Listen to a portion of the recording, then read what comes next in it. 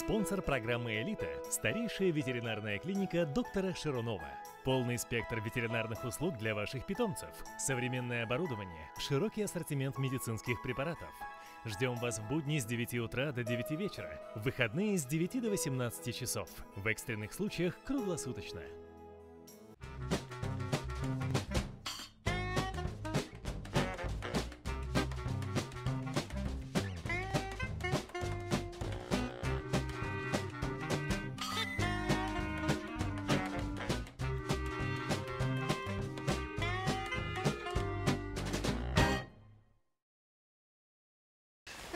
Посади, пожалуйста. А, а хорошо. Блеск. Раз, два, три. Раз, два, три. Военно-патриотический казачий конный клуб «Ермак» базируется в Краснозаводске на территории подростково-молодежного клуба «Красная гвоздика». Его создатели Михаил Приезжев и Степан Щеглов встретились лет шесть назад. Мысли совпали, и появился «Ермак». Каждый день города конный клуб дает представление, ведь кони клуба, артисты и трепачи. Не отстают и наездники, друзья и воспитанники клуба «Ермак».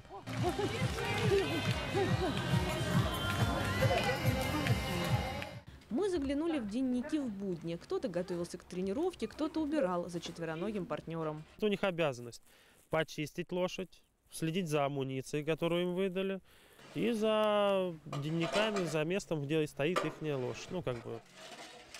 Ну, есть еще, конечно, штрафники. Кто проштрафился, там еще что-то. Я как, ну как сказать, как можно проштрафиться? Оно на- набегает, то двери не закрыли, то еще что-то. Ну, это с младшими групп, с младшими, младших сейчас, э, с младшими детьми вот сталкиваемся с такой проблемой, что их вообще ничего не заставишь делать. Вот вообще. То есть все многие приходят там, вот я хочу только так и все. Но у нас такого нет, у нас никто никого не выделяет. У меня вот свой сын мой ходит, он со всеми наравне, также берет лопату, кидает этот навоз, Степан Щеглов – главный тренер клуба «Ермак», конник в пятом поколении. Родом из города Суровикино, Волгоградской области. Служил в кавалерийском почетном экскорте президентского полка. Сейчас готовит трюковых лошадей и тренирует ребят военно-патриотического клуба. Мы попросили познакомить нас с некоторыми четвероногими артистами. Бук у нас, он ну, такой взрывной, характер у него энергичный. Ну вот он прыгает у нас через бочки, кареты, фаэтоны, столы. Все это никаких... То есть он такой конь, который вот, даже если он будет знать, что он не, не сможет одолеть высоту там, или какое-то препятствие, но все равно попробует. Вот этого товарища зовут Блеск. Да. Соответствует? Конечно. Э, На его счету покусаны э, детей всех. Ну, не кусает, но прикусывает так, прихватывает бывает. Э, Но на меня ни разу даже не пытался покуситься. Потому что, ну, это один из моих, ну, как бы, любимых коней. А что он таким образом? Он выясняет, насколько степень свободы у него по отношению, например, там, к начинающим наездникам или что? Почему он Ну, так себя ведет? Надоедает, когда садятся дети. Ну, вот они, им сложно объяснить, еще как бы донести до них, что, допустим, вот за повод нужно рулить поводом. Они пытаются им за него держаться, там, тянуть. Ему это не нравится. С понтом, ну зачем тебе это нужно? Может, он ничего не делает. Он становится на свечку, ребенок скатился с него, он встал рядом и стоит, ждет. Но зато в работе блеск не подводит перед камерой, работает всегда на отлично. Это соловей, Разбойник? Ну да, соответствует. Ну, как бы тоже, вот вроде раз, ну, бывает, он может себе там тоже что-то позволить, хитрить. Но что касается работы, все, что будет зависеть от него, требоваться, он сделает все на 110%. Хотя бывало, ну, он и сейчас бывает, дурит иногда. Он у нас вот экипаж там стоит на улице. Он по осени у нас с ним убегал. Ну, почти до, туда вот вниз, как э, спускаться к плотине, добежал. Ну, фаэтон у него, экипаж отцепился, там он в столб у него влетел, а он дальше побежал. Склонность к побегам у соловья наследственная. Его отец уходил у меня, мы под Можайском, за Можайском там ездили, э, есть фестиваль проводит, Удаль Молодецкая, мы возили детей туда.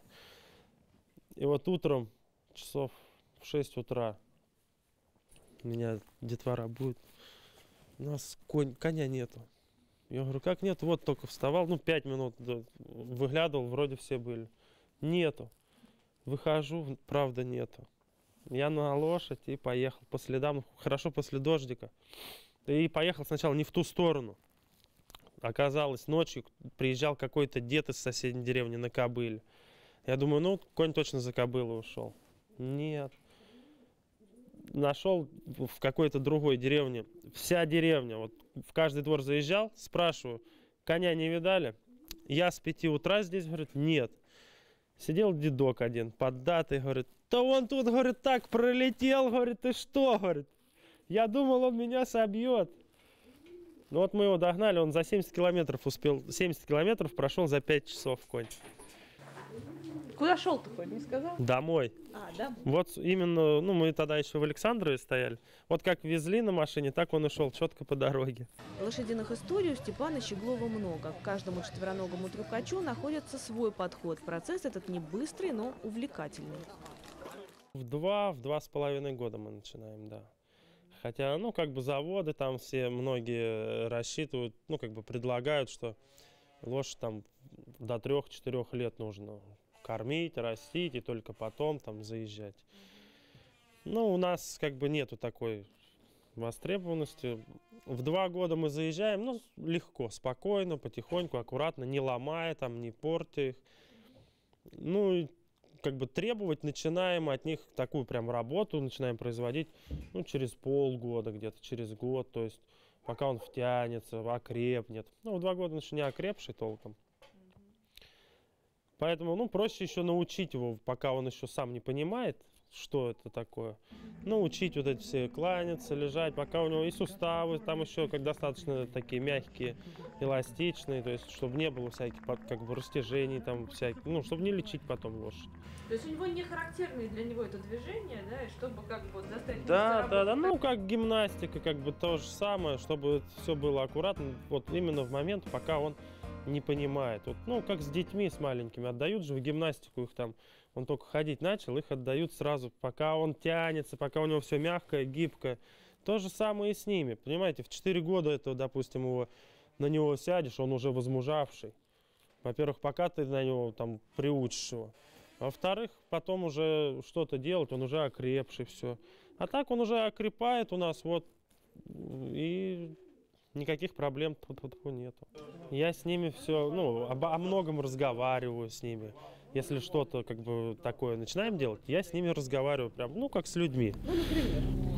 Ну, например, вот когда у нас Соловей убежал осенью с Фаэтоном, э, он выпугался, то есть в последующее время он не то, что там запрягаться, он даже близко не подходил к этому. То есть, ну, можно было там избить его, закрутить, скрутить, и он, ну, поставили бы и также бегал.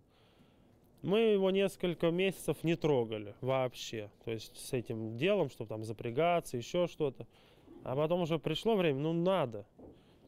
И вот я с ним походил, вышел вокруг этой, вот в руках ходил с ним, вокруг тележки и рассказывал. Говорю, вот я его купил, ну как купил, он с моего табуна, но э, кобыла была дядьки моего.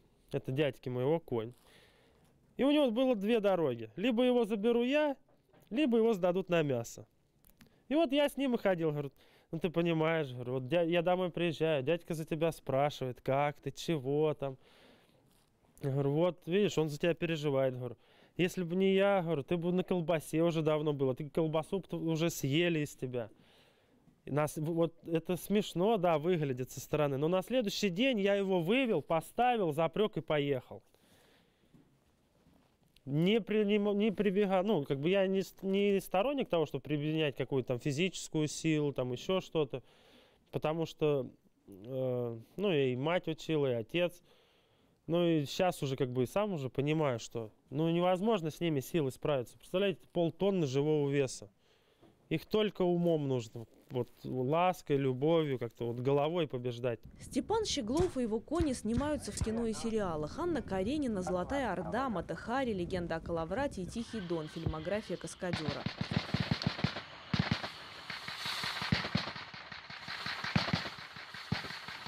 Накануне нашего визита этот серый конь участвовал в съемках клипа Николая Баскова.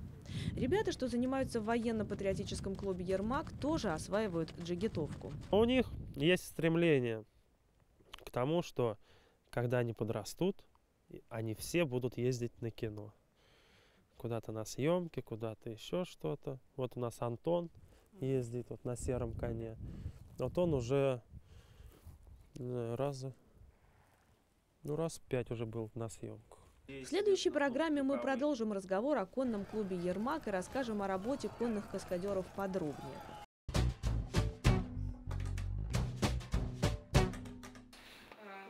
Шотландец Алонсо чихает. Хозяйка уже капала в нос и промывала его, но улучшений нет.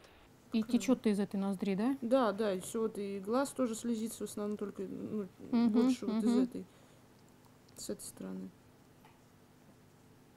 Могу подозревать э, какой-то полипозный процесс в, носо- э, ну, в носовых ходах, но это делается риноскопия. Это что такое? Э, ну, небольшое такое устройство, тоненькое, вводится в носоглотку, ну, камера, и смотрится. Ну, надо понять, из-за чего. Раз у него вовлечен в процесс нос, одна ноздря, ротовая полость тоже, получается, мягкое небо с этой стороны, и глаз, то есть процесс может быть внутри, он един.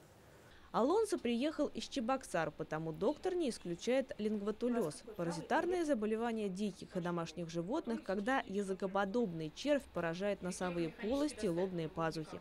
В нашей области заболевание редкое, но кот приезжий, так что исключать лингватулез нельзя. После риноскопии Алонсо будет назначено лечение. Напоминаем, клиника доктора Шурунова находится в Сергиевом Посаде на улице Кооперативной в доме 41.